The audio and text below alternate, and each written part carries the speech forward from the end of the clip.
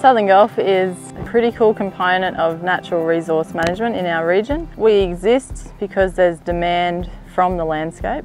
Natural resources is everything that we all need to survive. Like every human on earth relies on water, on soil for their crops. Whatever it is that we're actually using the landscape for, that's the natural resource. It's a natural asset. Southern Gulf is a community-based organisation Staff predominantly have a field role, uh, interact with landholders and local governments and a range of people in the community to extend information, to help develop projects, to help guide the direction of incentive funds that assists landholders and others take action on sustaining the condition of those natural assets. Sustaining that basic natural asset is fundamental to the long term of of industries like agriculture. The beef cattle production industry is a really key component of what economic activity happens in the region and a lot of those producers in the landscape are managing a native pasture system. Landowners, local governments, traditional owners, our job is to work with them and provide useful, proactive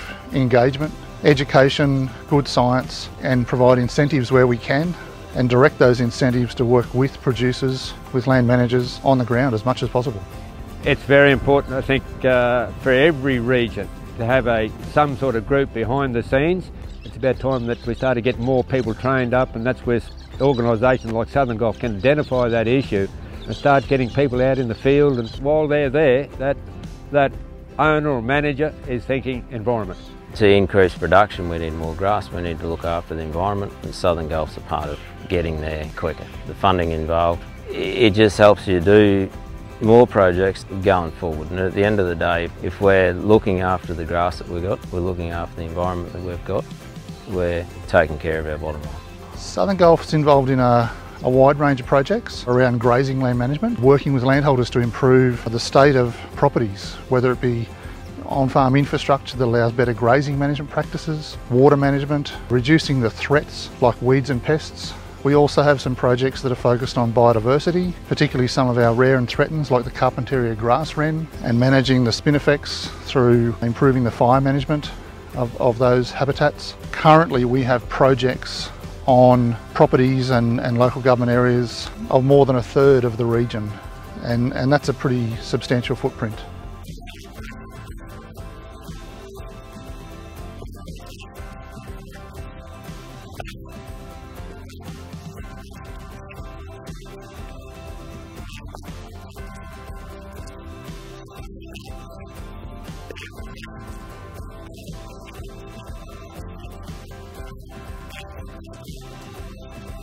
Well, Southern they've got the right people there to try and teach you, and uh, you can either take it or leave it. It's up to you. Like people like us that are set up here and make an industry out of this flying helicopters up here, keep learning as, as we go and make it better for everyone else up in the country as well, yeah. They're open to trying to help you in any way they can. They bring in experts in specific fields that, you know, they can help you from anything from your weed control through to your erosion issues. I like the fact that, you know, the Southern Gulf particularly, uh, they're, they're wanting you to guide your project as well. They're there pointing you in the right direction, but there's a lot that you can control in, in what it is and what you'd like to get out of it. So yeah, I find that, you know, really, really valuable on a lot of fronts.